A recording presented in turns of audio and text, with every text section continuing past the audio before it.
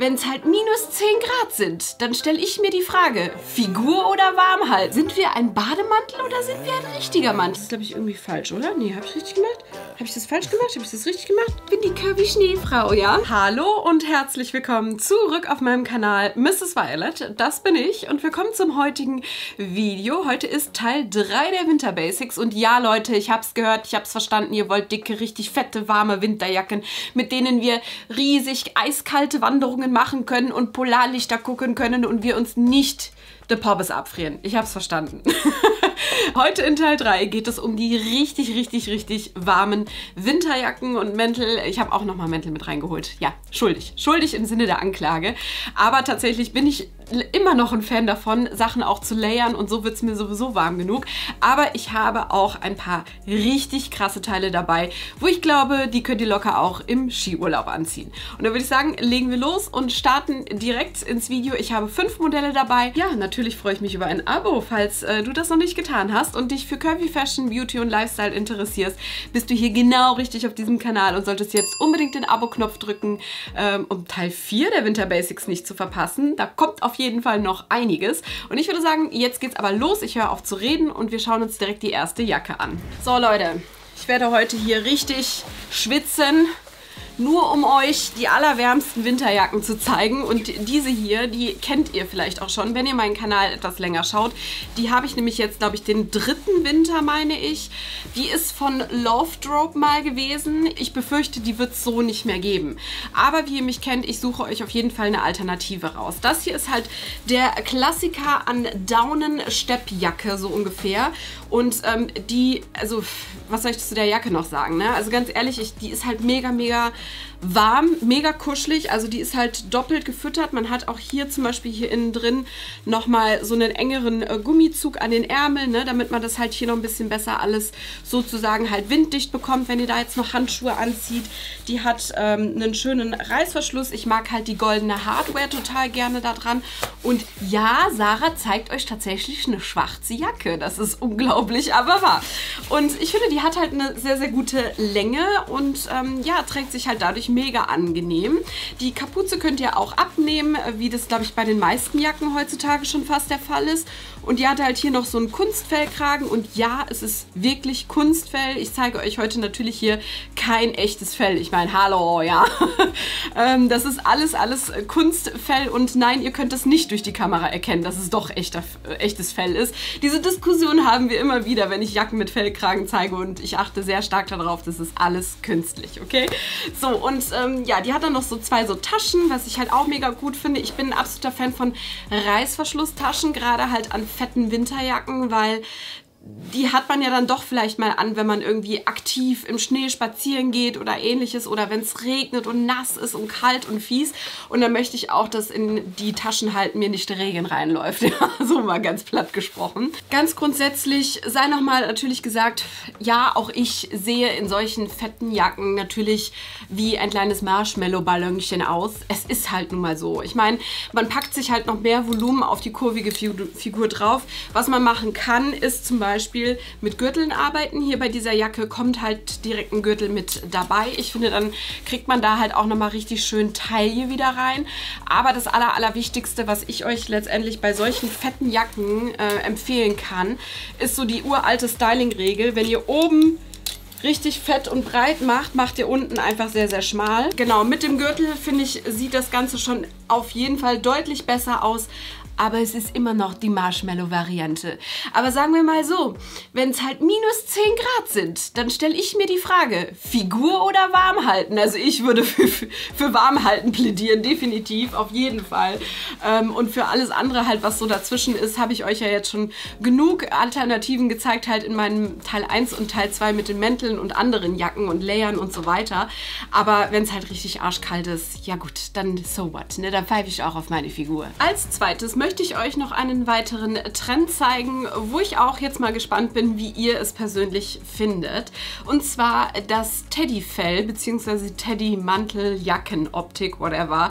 Weil letztendlich Fell ist es ja hier an der Stelle auch wiederum nicht.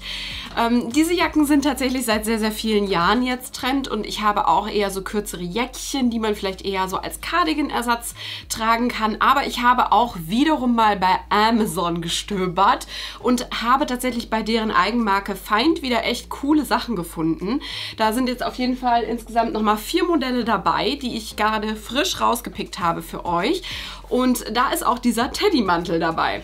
Das ist wieder so vom Schnitt her Modell, sind wir ein Bademantel oder sind wir ein richtiger Mantel? Und auch ich gestehe, das sage ich euch ja immer offen und ehrlich, ich bin skeptisch bei dem Teil. Aber irgendwie, es ist halt so kuschelig. Aber natürlich ähm, ist auch bei einer schlanken Frau, ich habe es zum Beispiel jetzt zuletzt, also erst gestern oder heute noch in der Story von der Leonie Hanne gesehen.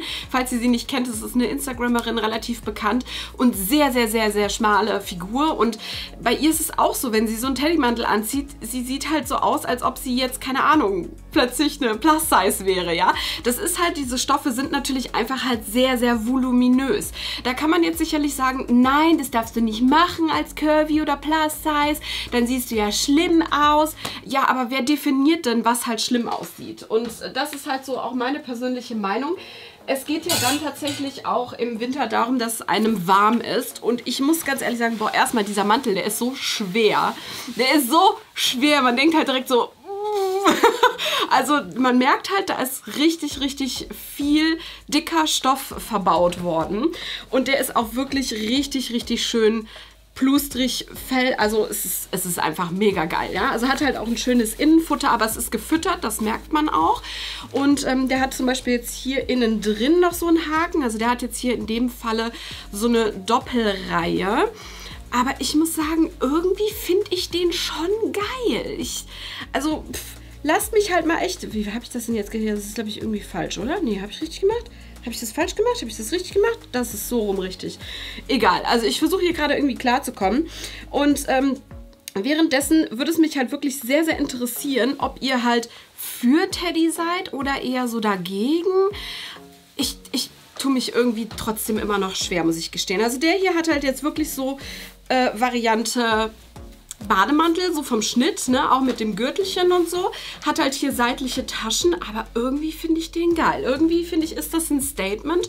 Und ich glaube auch, wenn es jetzt richtig arschfies kalt windig ist, noch ein fetter Schal dazu, das mache ich jetzt nicht, bitte seht es mir nach, weil ich gehe jetzt schon gabott hier, ja.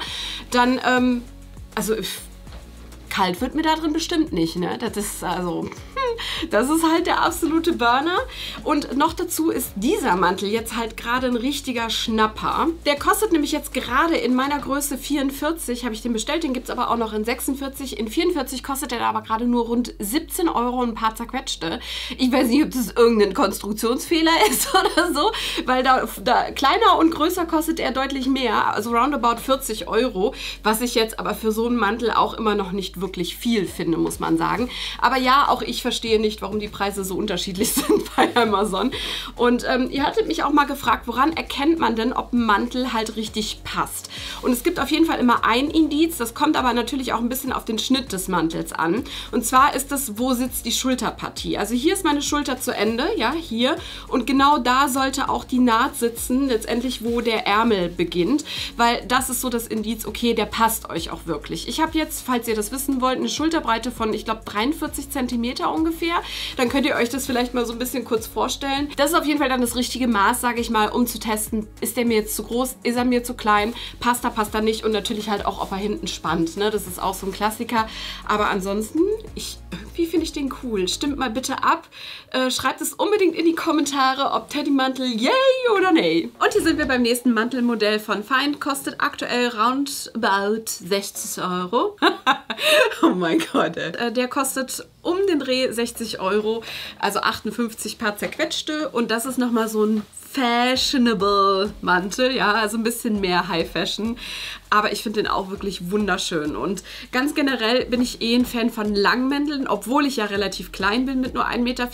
Das ist mir aber scheißegal, ja. Da ziehe ich lieber eine kleine Hacke an und mache mich ein bisschen größer und kann dann auch ganz gerne einen langen Mantel tragen. Ich glaube, das ist einfach eine Sache des persönlichen Selbstbewusstseins. Ähm, da solltet ihr euch keine Vorschriften machen, ob ihr jetzt lange, kurze, mittel, whatever tragt.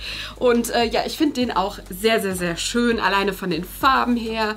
Das mag ich halt total gerne. Ne? Das ist ein bisschen was Freshes und Fröhliches für den Winter. Es ist zwar relativ dezent so vom, vom Muster her und von den Farben, aber ist auf jeden Fall ein Hinguckermantel.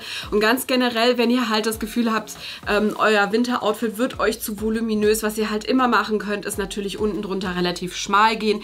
Ich habe jetzt heute zwar eine Mom Jeans an, aber natürlich halt, wenn ihr eine Skinny oder sowas anzieht oder halt auch, ähm, sage ich mal, ein Kleidchen und darunter halt eine Thermo-Leggings oder Strumpf Strumpfhose und ein schmales Bein macht, dann ist es auch nicht so schlimm, wenn ihr oben sehr, sehr voluminös seid. Das könnt ihr ganz gut damit ausgleichen. Ne? Es ist immer die gleiche Regel. Oben breit, unten schmal, unten breit, oben schmal. Das ist eigentlich so die absolute Fashion-Regel, die ihr für alles eigentlich anwenden könnt. Und der hier ist jetzt nicht ganz so dick gefüttert, aber er ist leicht gefüttert.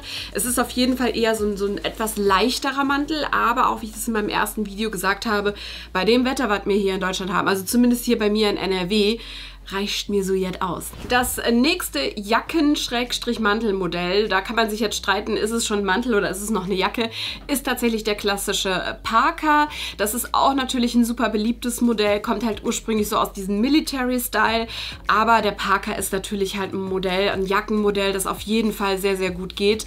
Auch gerade für uns Curvys, weil die meistens sehr tailliert geschnitten sind, oft auch noch so einen Gummizug in der Mitte haben oder ein Gürtelchen und von daher ist es natürlich für unsere Figuren auf jeden Fall eine sehr, sehr feine Sache. Der hat dann natürlich auch relativ viele Taschen und auch wieder eine Kapuze. Und ich habe jetzt hier das erste Mal etwas von der Marke Only Kamakoma ausgesucht. Ähm, das ist die Curve... Marke, Label von Only, so wie ich das bisher verstanden habe. Und da habe ich dieses Modell hier entdeckt und dachte mir so, boah, bist du schön, ich muss diesen, diese Jacke, also diesen Parker unbedingt ausprobieren. Und ihr merkt halt auch direkt, es ist ein ganz, ganz anderes Material, es ist ein anderer Stoff. Der ist richtig schön dick gefüttert, das sieht man hier innen mit diesem schönen Stepp auch und ähm, ist auf jeden Fall richtig, richtig warm. Also ganz ehrlich, tolle Sache. Dann habt ihr natürlich einen sehr, sehr langen Reißverschluss. Ich bin mir tatsächlich am überlegen, ob ich mir den auch mal eine Nummer kleiner bestelle. Ich habe jetzt eine Größe M genommen. Wichtig bei den Marken, also das sehe ich jetzt öfter schon bei Plus-Size-Marken, die haben dann halt nochmal von S bis XL, aber dann ist M jetzt in dem Falle zum Beispiel, glaube ich, eine 44, 46 oder eine 46, 48 ich bin mir nicht mehr ganz sicher. Ich schreibe euch das einfach nur mal gerade hier rein, was jetzt in meinem Fall tatsächlich besser wäre, weil ich glaube, dass der mir tatsächlich ein Ticken zu groß ist. Also ich bin mir da ein bisschen unschlüssig, aber gut. Auf jeden Fall finde ich den wirklich mega warm und mega schön. Also allein auch diese Farbe, den gibt es aber auch in anderen Farben. Der hat dann hier nochmal so ähm, auch quasi halt so, so einen doppelten Ärmel sozusagen, wo das hier ein bisschen enger geht, ne, damit da auch kein Wind und Regen und alles reinkommt. Und äh, auch, wie gesagt, halt eine schöne, fluffige Kapuze. Ah, damit kann ich auf jeden Fall lange Winterspaziergänge mit den Schnubbis machen. Ich glaube aber, hier ist jetzt die Kapuze fest verbaut. Ich muss gerade nochmal gucken. Moment.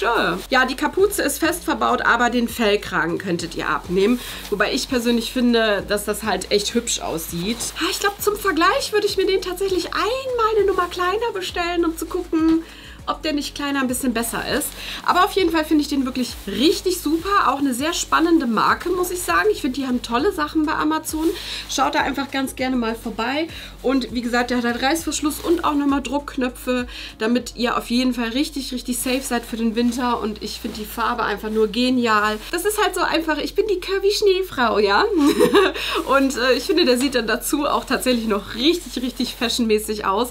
Also ihr seht, da gibt es auf jeden Fall genug genug Auswahl. Und ja, natürlich, klar, ich sehe halt aus wie so ein kleiner Schneeballballon. So what? Who cares? Kommen wir noch zur letzten Jacke und das ist auch die teuerste und puh, die ist auch ganz schön warm, diese Jacke. Auf jeden Fall ist das äh, so eine Art, ähm, tatsächlich so, so diese Piloten-Fliegerjacken-Style. Ich muss ganz ehrlich sagen, ich finde die ja mega cool. Die gibt es auch jedes Jahr wieder bei Zara, Mango und Co. Sieht man die immer, immer wieder oder auch bei Naked zum Beispiel. Ich habe jetzt hier eine 42 bestellt. Größer gibt es die leider nicht. Mir passt die 42 aber.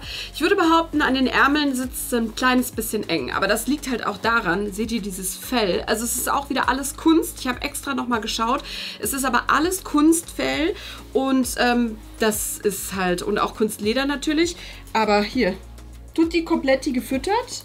Das sind die Taschen übrigens. Da brauche ich halt aber auch keinen dicken Pullover mehr drunter. Da würde ich jetzt am liebsten tatsächlich nur so ein Longsleeve oder irgendwas drunter anziehen, weil die echt so was von warm ist.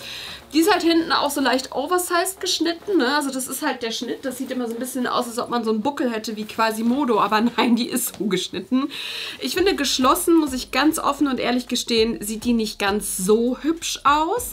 Ähm, aber halt für so drüber zu ziehen und für so einen richtig coolen, lässigen Style finde ich die halt schon irgendwie nice, muss ich gestehen. Also oh, es ist schon nicht so schlecht, dieses Jackenmodell. Ich wollte halt so eine unbedingt ganz gerne nochmal mit reinnehmen, weil es halt auch ein ganz anderer Stil ist. Es ist halt eher so dieser ein bisschen Rock-Schick-Style, ne? Und ein bisschen, bisschen edgy und so. Kann man halt auch zu komplett schwarzen Outfits sicherlich sehr, sehr cool kombinieren. Wobei es die Jacke auch in Silber gibt, aber ich finde, äh, Silber-Weiß, aber ich finde, da sieht die nicht so hübsch aus auf den Bildern. Vielleicht in Real Life etwas hübscher, aber in Schwarz fand ich die dann tatsächlich echt am schönsten. Ich muss ganz ehrlich sagen, ich finde die not bad. Also so, komplett halt auch dieses, dieses flauschige Fell. Boah, das ist halt so geil. Und dann stellt man hier sich den Kragen noch so hoch und dann macht man die zu. Und dann ist so, ist hier irgendwo ein Sturm? Also ich höre davon mal gar nichts, ne? Ich bin dann mal in meiner Jacke so. also genau so fühlt sich das halt auch an. Also man ist halt so wirklich so komplett so eingemummelt. Äh, ich finde die schon irgendwie nitze. So, meine Hübschen, seid ihr jetzt zufrieden? Habt ihr jetzt genug warme Jacken gesehen? ich hoffe doch. Also auf jeden Fall war das tatsächlich, denke ich mal, eine ganz gute Palette an richtig, richtig warmen, kuscheligen Winterjacken. Also wie gesagt, macht euch da nicht so einen Riesenkopf. Ähm, ich habe auch nicht das absolute Geheimrezept, wie ihr in super dicken Winterjacken halt nicht noch voluminöser aussieht, weil es tatsächlich bei jeder Figur einfach der Fall ist, ja. Da müssen wir auch ein bisschen Abstriche mal zum Thema Fashion halt machen, wenn es einfach warm und gemütlich und ja, so sein soll, dass wir halt uns nicht de Porbes abfrieren im Winter. Ich finde das aber persönlich überhaupt nicht schlimm. Ähm, das sage ich euch so, so oft. Mode und Outfits sind nie zu 1000 Prozent perfekt. Das müssen sie auch überhaupt gar nicht sein. Das sollte nicht der Anspruch sein. Es sollte euch einfach nur Spaß machen oder in dem Falle euch warm halten. Ich bin gespannt in den Kommentaren zu lesen, welche der Jacken oder Mantelmodelle euch am besten gefallen hat. Vielleicht war wieder ein bisschen Shopping-Inspiration für euch dabei, dann tatsächlich auch mal etwas auszuprobieren. Und äh, ich weiß gar nicht, was mein Favorit sein soll. Ich glaube tatsächlich irgendwie der, der karierte Mantel und tatsächlich der weiße Parker. Ähm, wobei die schwarze auch ziemlich geil ist. Also ich kann mich gerade schon gar nicht entscheiden. Es ist halt alles sehr, sehr unterschiedlich. Es ist ein unterschiedlicher Style. Aber das macht ja das dann auch aus, sage ich mal, dass man letztendlich mit Mode immer wieder etwas Neues kreieren kann. Dann kommen wir jetzt natürlich noch zum Kommentar des Tages. Und der ist heute von Bella Anna. Sie hatte auf meinen Loungewear Haul und mein Hausputz-Video kommentiert. Danke für dieses tolle Video. Ich liebe es. Dein Humor, die Schnitte vom Video, die Kleidung, die Hunde. You made my day. Ganz, ganz lieben Dank und liebe Grüße an dich persönlich. Hat mich sehr, sehr gefreut, dass euch auch dieses etwas andere Video einfach overall sehr viel Spaß gemacht hat. Und das soll es am Ende des Tages ja auch sein ihr müsst nicht immer alles so ernst nehmen, okay? Es soll auch einfach mal nur ein bisschen Unterhaltung sein und Spaß sein. Und dann sehen wir uns auf jeden Fall am Sonntag wieder. Da unbedingt einschalten, da greife ich auch wieder ein Thema auf, das in der letzten Zeit einige sich gewünscht haben. Das also nicht verpassen und bis zum nächsten Mal. Bye, bye!